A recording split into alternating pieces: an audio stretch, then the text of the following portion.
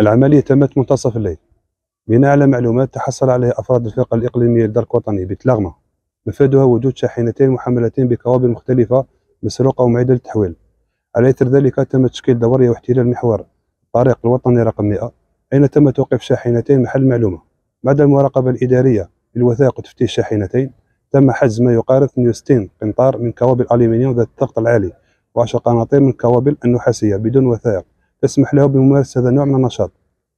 مباشرة تم اقتياد سائق الشاحنة الأولى إلى مقر الفرقة لمواصلة التحقيق ليبقى السائق الثاني محل نشاط أبحاث. مواصلة للتحقيق تم سماع الممثل القانوني بشركة جزائر لتسيير شبكة نقل الكهرباء ومعاينته للمحجوزات حيث أكد أنها ملك للشركة وهي محل سرقة كونها لا تشترى ولا تباع في المزاد العلني. بعد استكمال التحقيق سيتم تقديم المعنيين أمام سيد وكيل الجمهورية لدى محكمة العيد وتسليم محجوزات لمديرية أملاك الدولة.